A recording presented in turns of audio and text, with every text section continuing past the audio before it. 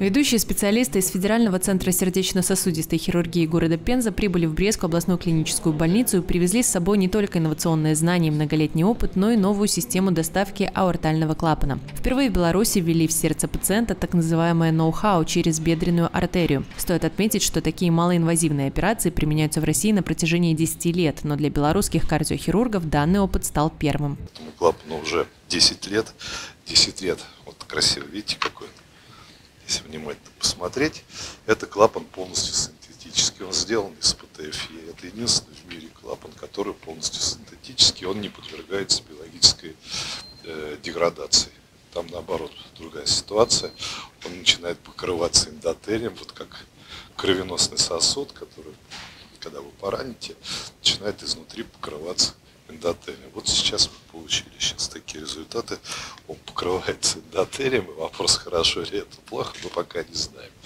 Мы представляли этот клапан на нескольких уже съездах европейских и азиатских. Колоссальный интерес, потому что отдаленные результаты уже 10 лет – и я вам хочу сказать, это единственный действующий образец в мире, который сделан полностью из синтетических материалов. Больше пока никто. Сейчас американцы пытаются что-то сейчас создать, но у них трехлетние испытания только на животных. Мы прошли все это на животных, мы прошли это все уже отдаленные результаты у пациентов. Поэтому это является ноу-хау российских продуктов, интересно очень. Ну и, скажем так, он значительно дешевле чем европейский аналог. Подробно рассказать, показать и проконтролировать такие задачи ставили перед собой ведущие специалисты из России, потому как брестские кардиохирурги, конечно, обладают профессионализмом, умением и ювелирной точностью, но вот нюансы работы с инновационной разработкой им были неизвестны. Данный метод позволяет оперировать пациентов с сердечной патологией, аортальный стеноз. Это врожденный или приобретенный порог сердца, заключающийся в сужении устья аорты, которое препятствует нормальному току крови, что впоследствии запускает патологический процесс развития заболевания. Артальный стеноз – это операция, которая, не операция, это поражение клапана, артального клапана, как правило, это атеросклеротическое поражение. Ну, его называют тих, тихим убийцей. Почему тихим убийцей? Потому что он проходит очень незаметно для пациента.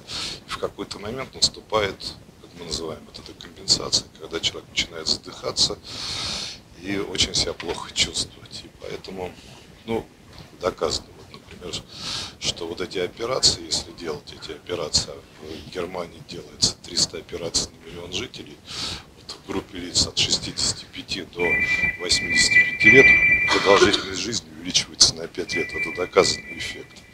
То есть все остальные, знаете, там, там статины, таблетки, еще что-то такое, как правило, они не увеличивают продолжительность жизни, там уменьшают количество инфарктов, инсультов. Но вот эта операция я уже обозначил эту группу.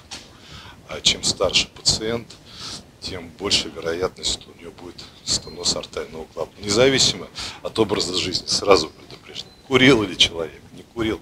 Это дегенерация, это возрастная дегенерация, это, наверное, связано с какими-то генетическими, скажем, предрасположенностями пациентов. Ну, в среднем, где-то к 80 годам у 10% людей возникает такое поражение артериального клапана, артериальный стеноз. На данное хирургическое вмешательство берут тяжелых пациентов, которым противопоказано проведение открытых операций из-за высокого риска осложнений. И неудивительно, ведь преимущество операции по транскатетерной имплантации аортального клапана множество. Начиная от сокращения времени хирургического вмешательства, если раньше требовалось порядка 5 часов, то сейчас основная часть занимает всего 20 минут, заканчивая периодом восстановления, который проходит значительно легче и быстрее для пациента. Это достаточно большой шаг вперед для нашей э, области. До 90% пациентов с данной патологией оперируются в мире транскатетерным способом, поэтому мы тоже не хотим быть в хвосте. В настоящий момент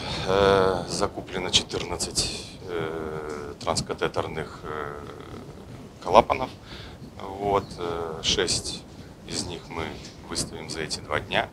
Вот, 8 будем уже в ближайшие сроки самостоятельно устанавливать, имплантировать. Брестские кардиохирурги ассистируют российским коллегам, чтобы в обозримом будущем проводить подобные операции самостоятельно, потому как спрос очень высок. В Брестской области около 200 человек стоит в листе ожидания на данную операцию.